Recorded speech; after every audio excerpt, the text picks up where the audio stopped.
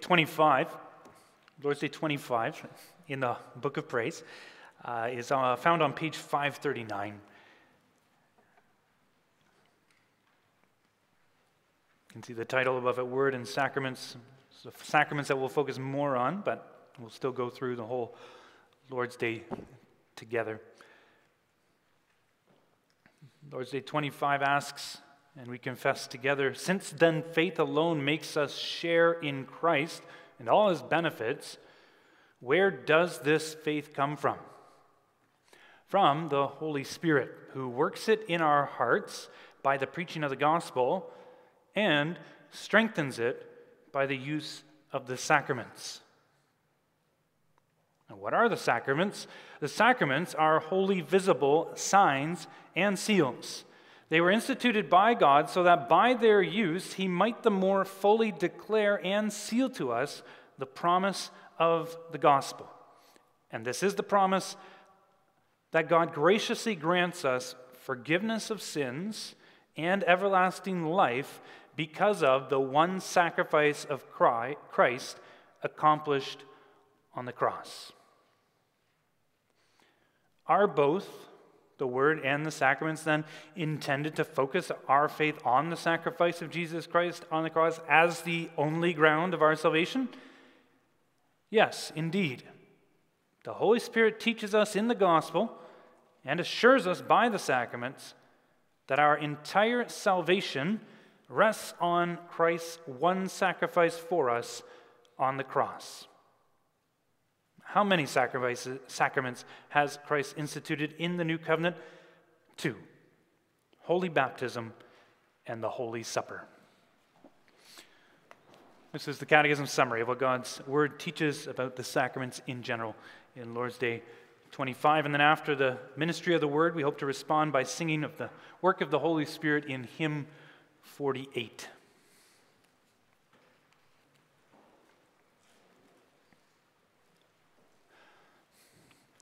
Congregation of our Lord Jesus Christ, brothers and sisters, perhaps some of you shop Amazon or other online stores pretty often and even get pretty major purchases, even fragile purchases in the mail. And often you're kind of looking out the window when one of those fragile purchases come in because you know the guy's going to come and you, you hope he's placing it down carefully. Because usually those fragile purchases have those stickers on them, right? Handle with care. And the point being, we have to be very careful with what's inside. We don't want to handle it too roughly, go too extreme in one way or, or another, because something might break. It's language that we use also in, in Scripture. The Apostle Paul, uh, in 2 Timothy chapter 2, talks to his protege, Timothy, minister, and says, you know, handle with care the word of truth. If you're going to preach it, you have to be careful with it. Don't use it too extremely. Uh, make sure you're doing it in a balanced way. Now, there, there's no text in the Bible that matches our theme for this afternoon handle the sacraments well. There's no place where the Apostle Paul tells Timothy or some other person like Titus or Philemon, uh, handle the sacraments rightly. Uh, and I'm not trying to, to claim that this afternoon. And yet, when you look at the history of the church, it is something that we probably could use a reminder of regularly. Because often, when it comes to the sacraments and you go through church history, you're going to find times where people don't handle the sacraments all that well. In fact, it leads to all kinds of controversies, it leads to all kinds of divisions, all centered around how we look at these holy uh, events that God gives us to use as a church. They, the sacraments are still today sometimes minefields if we're not careful, even when we agree with which ones they are the Lord's Supper and baptism. Uh, even when we agree with the confessions over and over again, what they're supposed to do, what they mean, how they function, we still can get into knots a little bit over questions like should we, uh, when we have people that are shut in in their homes, should we try to celebrate the Lord's Supper with them somehow, even if they can't go to church anymore? Should we, we bring it to them? And people can get pretty animated on both sides of that discussion. Or should we delay baptism for a little bit in order to get our own minister on the pulpit? Or maybe for some other reason. When, what's legitimate? What's not? Uh, people can have some pretty strong opinions on that as well. it can get touchy pretty quickly. And as we go through Lord's Day 25, it's not my job here this afternoon to spout my opinions on those kinds of questions. Uh, what's important, though, is to go back to the principles underlying the sacraments and know them really well so that we can handle the sacraments well when it comes to different points of discussion, different questions that we come up against in practical life when it comes to the sacraments. And thankfully, the church has been through some even tougher questions before when it comes to the sacraments. And saints of the past, studying the scriptures, uh, working through what the scriptures say about the sacraments, have written down some key principles for us of how to handle the sacraments well. And a lot of those come out in Lord's Day 25. So we're going to look at two of the dangers that we end up facing when it comes to handling uh, the sacraments. And it's really almost the two opposite dangers. Almost like we're trying to steer a course then of balancing the sacraments well and not veering off to the one side of, of making them too important and off to the other side of making them not important enough. So we'll look at the two dangers as our two points this afternoon, starting with the danger of making sacraments too important. And to start with, then, it's good for us to just understand where this, uh, where the topic of sacraments, why it comes up in the first place in the Catechism. I, I understand that Emmanuel is not going through the Lord's days leading up to Lord's Day 25 this afternoon. So if you just glance back, perhaps you know them well. Lord's days uh, 23 and 24 are coming out of the Apostles' Creed, which, what's the Apostles' Creed when it comes to the Catechism? It's a summary of what we're supposed to believe. Because, well, believing, having faith, is part of our deliverance. Faith in Jesus Christ, believing the things of the Apostles' Creed, the things that we say there, that's kind of the, the heart of what our faith should be based on. And so faith is extremely important. And basically, Lord's Days 23 and 24 just hit that message home even more so. It really is by faith alone in Jesus Christ. It's all Him, it's not our works. And all kinds of questions are asked about, well, uh, do works have a little bit of value here or a little bit of value here? And no, no, no. It's by faith.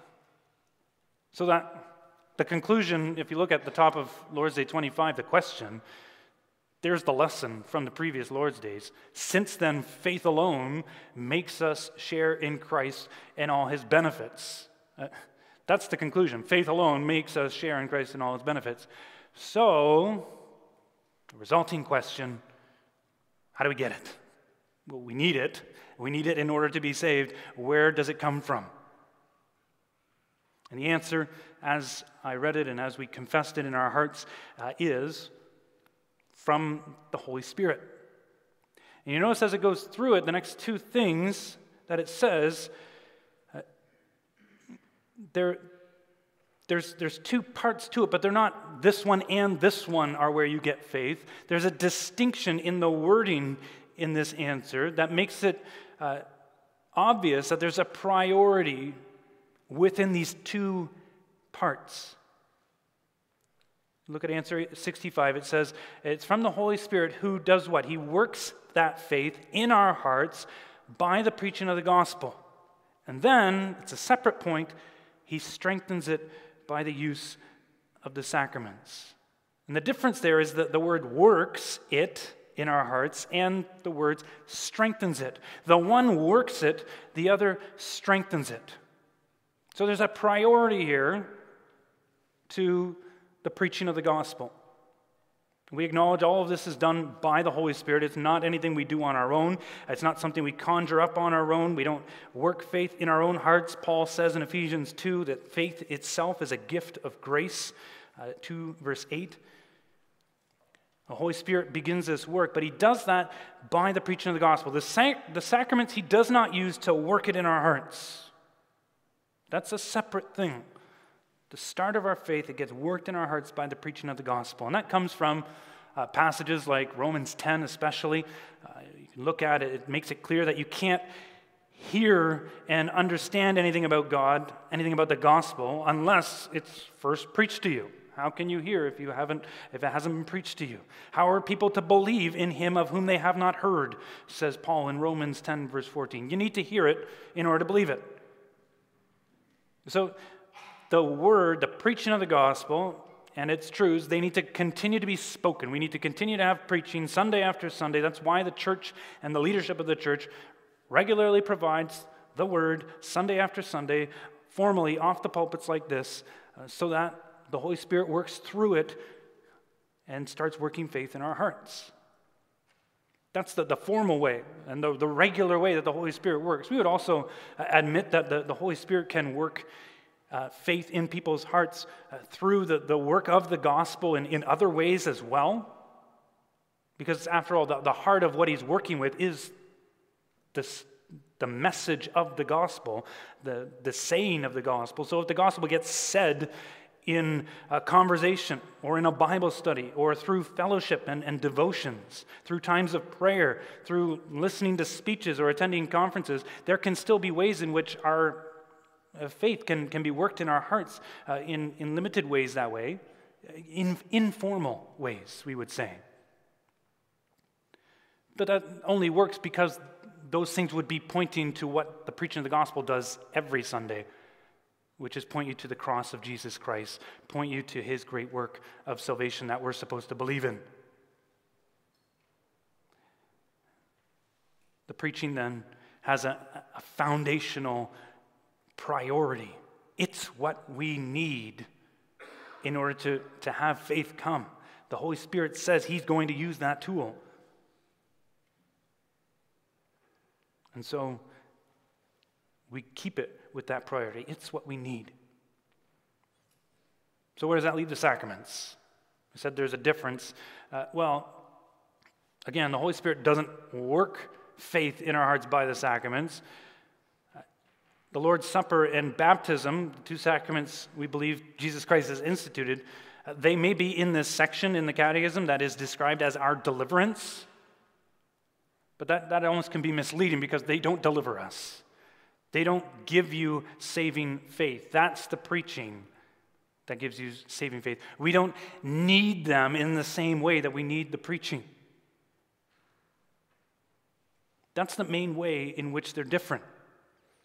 And then if we, we zoom back and start looking throughout church history and, and talk about handling the sacraments well, well, that's the exact problem that you find all over the place, especially in the 1500s when the, the catechism was written, but we still find it all over the place today.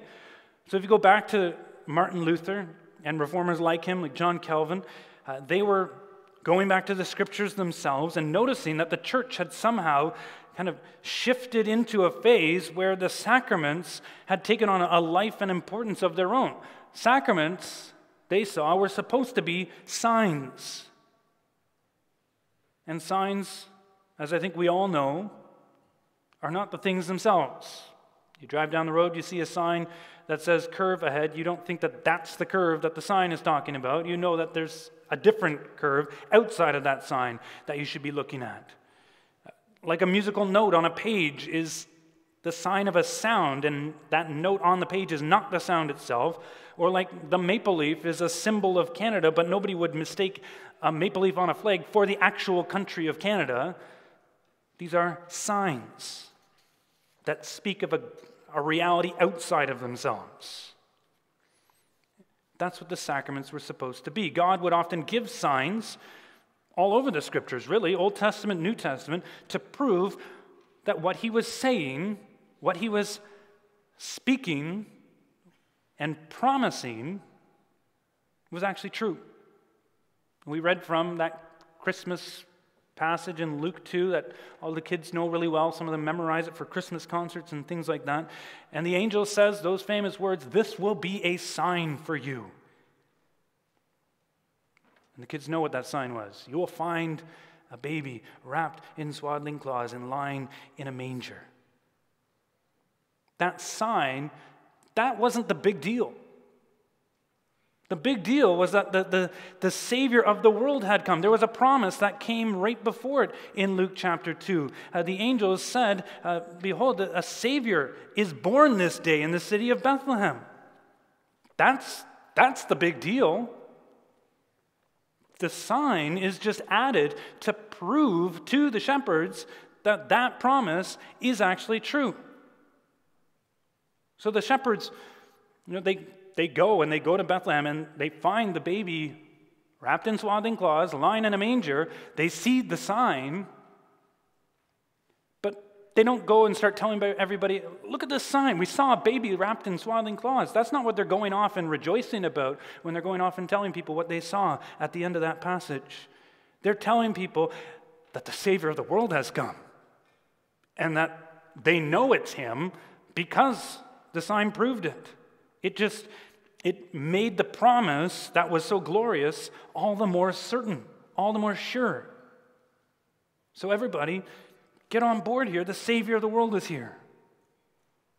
That's how signs were supposed to work. And uh, the Lord's Supper, then, and baptism work in the same way.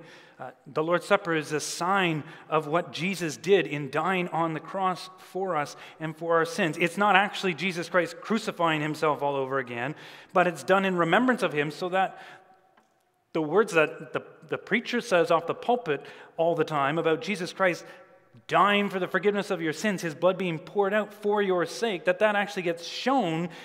And as certainly as that is given to you, that, that forgiveness, that promise is yours. And baptism the same way. We hear that our, our sins are washed away. Baptism itself doesn't wash it away. It's not Jesus' blood being poured out again, but it's a sign of the promises that come with it. Now, to, to, get to the point, going back to the 1500s, the issue at that time was that if you didn't get baptized, or if you didn't celebrate the Lord's Supper, well, you're in deep trouble. They're, they're, you're, uh, it's, it's a scary place that you're in. Your sins are not going to be washed away if you're not baptized. If you don't celebrate the Mass, you're not forgiven. Listen to this from the, the Acts of the Council of Trent. Uh, that's a, a, Roman Catholic synod, basically, uh, that the leaders of the Roman Catholic Church held in around the same time as the reformers were we're beginning to talk about how the Roman Catholic Church was, was teaching the wrong things. So these leaders of the Roman Catholic Church met and tried to sort through some of these teachings of the reformers and make judgments on them. Uh, and this is canon number eight from the Council of Trent. It says, If anyone says that grace is not conferred by the sacraments of the new law uh, through the sacramental action itself, but if anyone says instead that faith in the divine promises is by itself sufficient for obtaining grace, let him be anathema. So it's, it's in the negative. It's, it's basically saying, let anyone be cursed and basically considered outside of the church if they teach that salvation is only by faith alone. And if they teach that there's no saving work in the sacraments, that there's no grace that is conferred, that, that you don't get grace from the sacraments. If anyone teaches that, let them be kicked out. This sign for them does something. If you don't get it, you don't get forgiven. The action of it saves. And so the reformers started writing against that. And were considered anathema, kicked out of the church, and destined for hell by the Roman Catholic Church, even though the reformers were trying to go back to the scriptures. But regardless, the, the Roman Catholic, I don't want to necessarily pick on them this afternoon. Uh, the ironic thing is that there were also people reforming at the time, getting away from the Roman Catholic Church, that also still didn't handle the sacraments properly. Uh, we describe them in that day and age as the radical Anabaptists. They ended up doing a, a lot of the same things when it comes to the sacraments. Listen to these words from a short Anabaptist confession in around uh, 1610. So, around the same time, they wrote this uh, The sacraments are the invisible, spiritual act of God through Christ in cooperation with the Holy Spirit, bringing the new birth, justification, spiritual nourishment and sustenance to repentant and believing souls. So it actually does something. It's the spiritual act of God bringing new birth, bringing changes, bringing justification. If you don't get it, you're not brought justification, you're not saved. Again, the, the, sacrament is still doing the same work. Even though they're trying to get away from the Roman Catholic Church, they're still looking at baptism in the same way that it does something. And you got to get yourself baptized to get that thing. Both sides, the, the Latin word for this teaching or this kind of looking or view of the, the sacraments is called ex opere operato, which simply means from the deed, the deed is done. So from the thing, it's done. From the sacrament being given, the saving is done. But both sides here, whether uh, both sides are, are basically making the same mistake, putting too much emphasis on the power of the sacrament so that without it, you, you're not saved. You need it, and, and if you don't get it, you should be worried. It's how you get salvation. And it makes them so essential that you can't live without them, no matter what. And so the reformers in that time, well, they started arguing against things like priests having to rush in and baptize infants before they died because they argued those, those infants, they don't need that in order to be saved. Those infants are already in Christ by being uh, children of believing parents. Uh, the sacrament is just a sign of what already is a reality. You don't have to also, you don't have to rush to the deathbed and perform last rites because the person needs to be forgiven their last sins before they die. No, they've already been prepared to die when they first believed and were justified. They're saved already.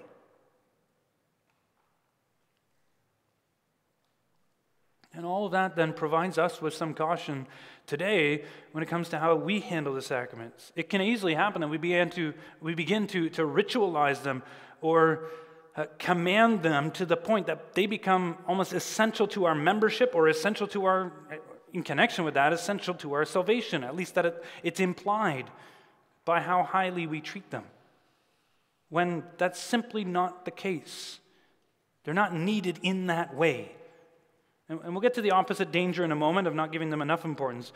But for now, the, the point the Catechism is trying to make in its day, and the point we need to remember still today, is to make sure we keep the role of the sacraments under the Word in terms of supporting what the word teaches, confirming it. It's not what saves you, the sacraments. And we have to look out for attitudes that creep in, even with the best of intentions, that would make these things more than they were made to be. Our salvation is in Jesus Christ alone and the message of his salvation, faith in him. That comes from the Word. When we believe in that message and are justified, there, there's no going back. We, we've been made righteous before God. It's done. Uh, no sacrament does that for us. No sacrament actually gives the promises, they're already ours in Christ.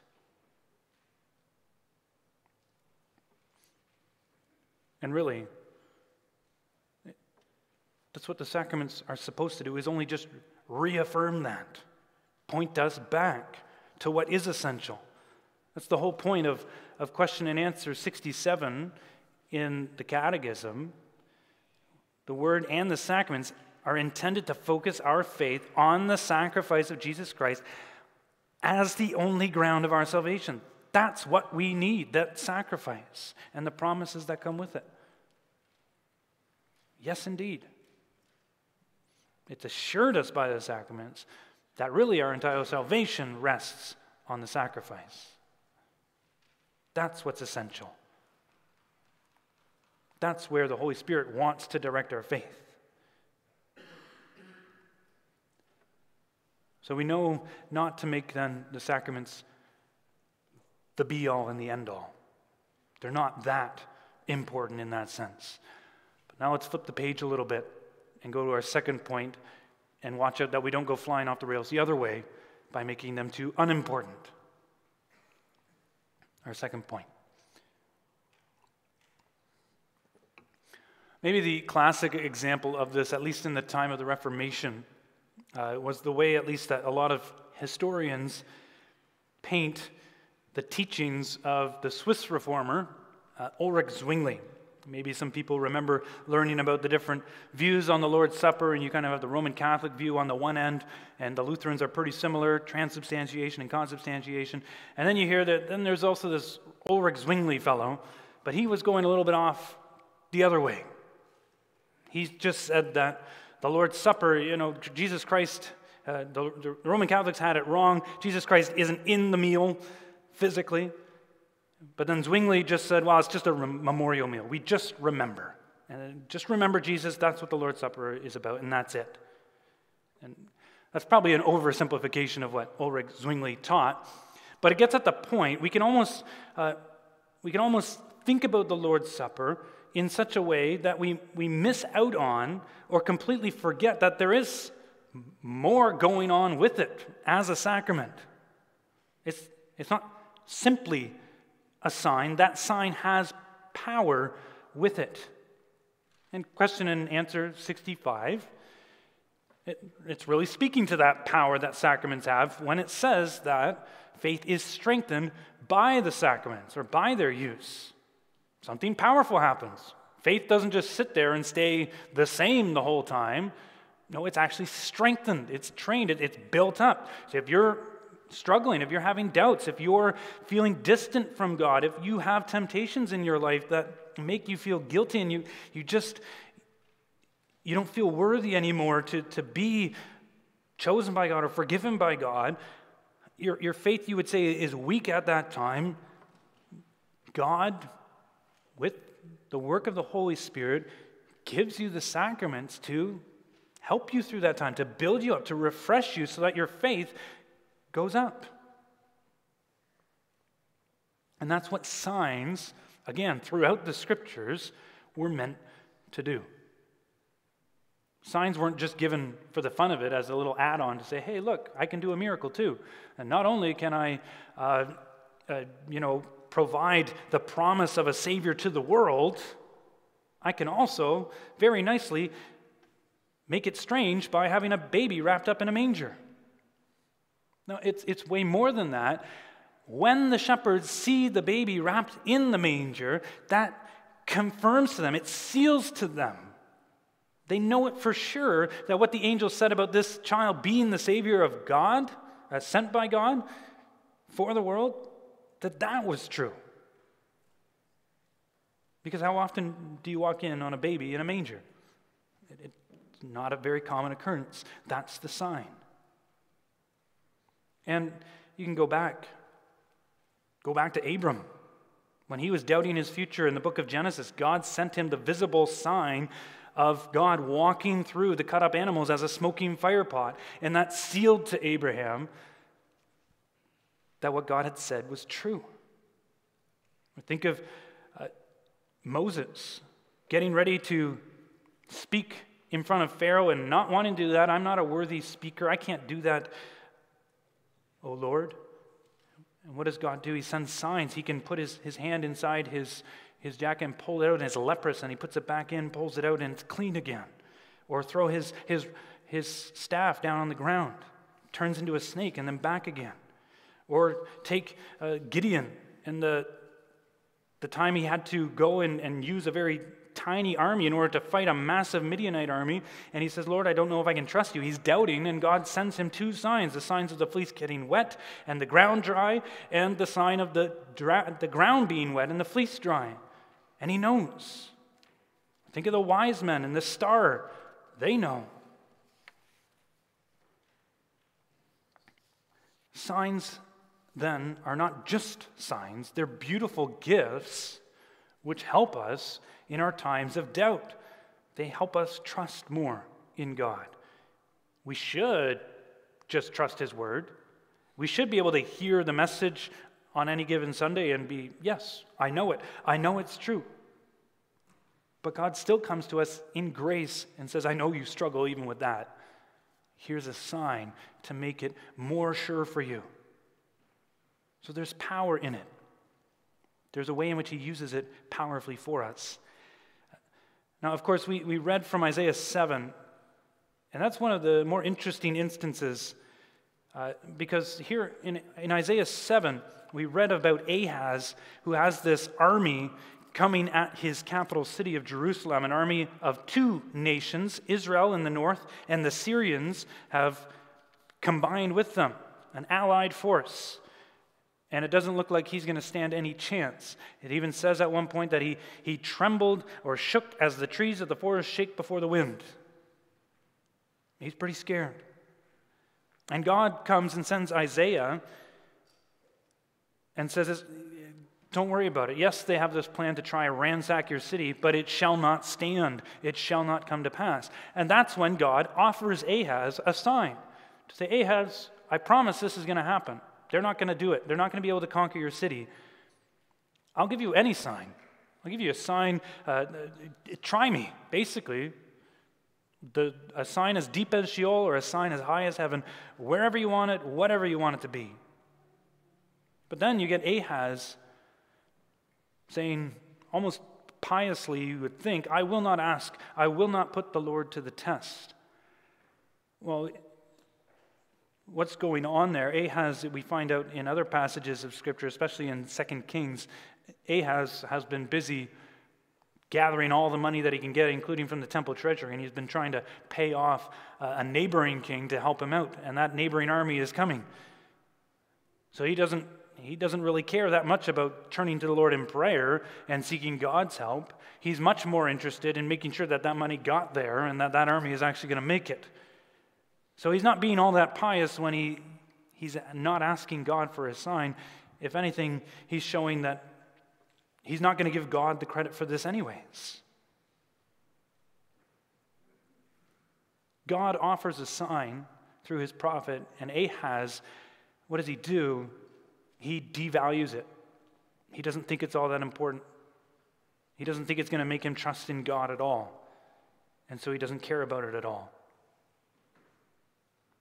And that shows us that there is, again, a danger that we don't value the signs for what they are. God here wants to give this gift, and he gets upset when Ahaz rejects the gift. God wants to give us the gift of the Lord's Supper, wants to give us the gift of, of baptism to strengthen our faith because he knows we struggle. He knows our faith wavers. And for us then to treat that as if it's nothing, to treat it as if well, you can do whatever you want with it, whenever you want with it, that's belittling the gift that God has given us. Because God, it's, it, it's almost, you could, in, in that way, say He's giving us something we don't deserve. He has already given up His Son, Jesus Christ, for us. He has already done everything to prove that He loves us. Uh, what greater sign than you, do you need for Him to give up His only Son for you? And yet, knowing our weakness, knowing our, our frailty, knowing how fickle we are and going one way and the other, and believing sometimes and not believing another time, He still says, Well, I'll give you a sign as well. Receive that bread and that wine. Uh, get that water, pour it on your head. And, and as simply as that happens, as my church goes out and, and gives that to people, so certainly that's yours. That's proof that my promises about the forgiveness of sins are yours. God wants for us to value these sacraments. So you think back to your baptism, or you, you see another baptism. And, and if you've been struggling to trust that you've been just washed completely clean, that you're, you're not dirty in God's sight, you see that as a gift. God saying, No, you really are washed, all of it. Or if you're struggling to trust that Christ loves you enough to die for you, look at him coming to you in the Lord's Supper and saying, Here, this is for you. I, I am, this is Christ coming to you. I do love you, and I want to renew that love by giving you this. He's willing. Those signs, they are just signs, they don't save you, but they're beautiful gifts. When you take them by faith, you really do grow. And add to that that Jesus Christ wanted us to do these things because he commanded them do this in remembrance of me. He says when he's holding the bread and the wine, Go therefore, make disciples of all nations, baptizing them. It all goes to show that it would be equally dangerous to slough them off as not that big a deal. Who are we to belittle God's good gifts or act like we don't need them or wouldn't benefit from them? Yes, they aren't the word, they aren't the promises themselves. They don't save us, we don't need them in the same way. But that doesn't mean we don't value them or it doesn't mean we don't uh, hold them in, in high esteem. No, we value that strengthening. We desire it. We crave it. And when God gives it, we savor it. We soak it in. It's a reminder of His love. Hopefully, you can begin to see then, brothers and sisters, why it can be difficult to always handle the sacraments well.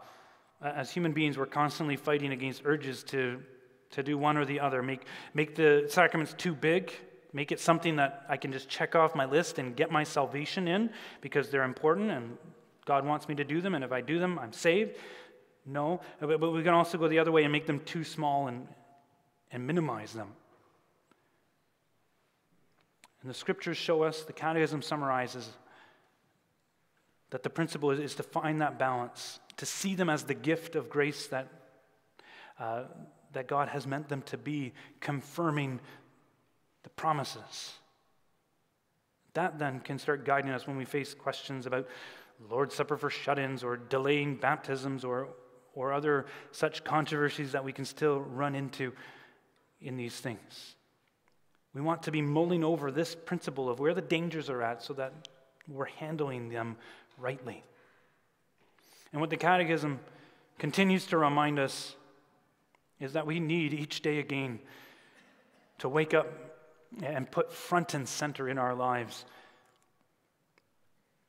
that hope, that comfort, that all of our salvation is found at the cross in Jesus Christ.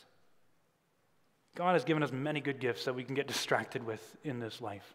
And the sacraments, you can almost add to that list. God has, God has given us the uh, gifts that we end up uh, just falling in love with uh, the gift of money, the gift of family, the gift of, of work, the gift of rest, the gift of play, the gift of sexuality, the gift of beauty, the gift of music, the gift of sports, the, the gifts of, of technology.